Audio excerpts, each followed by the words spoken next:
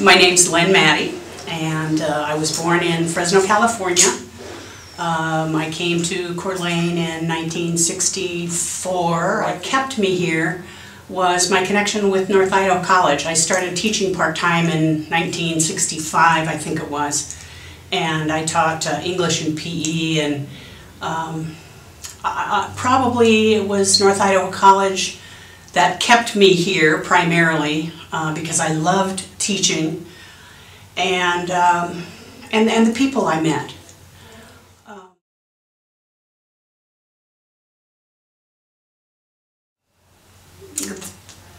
Things need to get done and you meet somebody who raises the issue and so you get involved. I think early on it had more to do with um, issues from a woman's perspective. Women in sports, uh, women's equality, um, uh, pro-choice issues, um, domestic violence issues, women's history issues, those kinds of things. Um,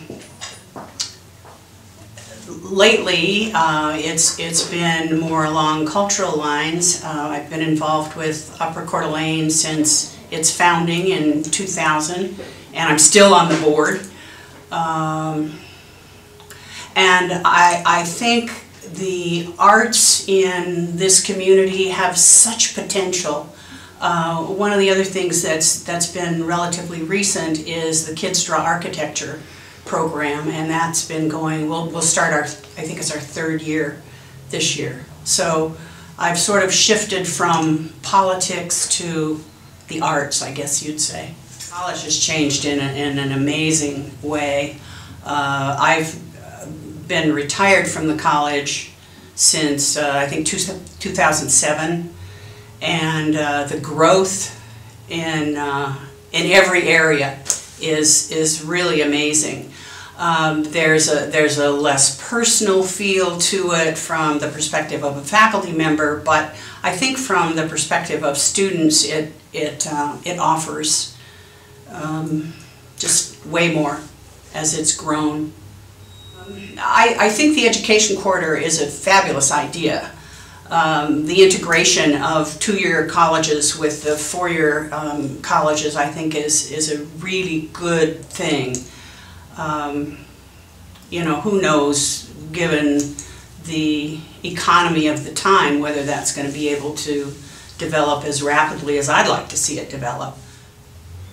Well, I think the opportunities, uh, at least from my current perspective, are in um, emerging arts possibilities.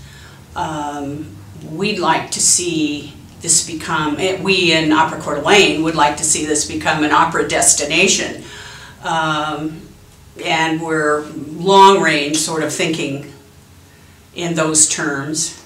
I think that people are drawn to this area because of the beauty. Um, that's certainly increased the population. I think it's brought in ideas from other places.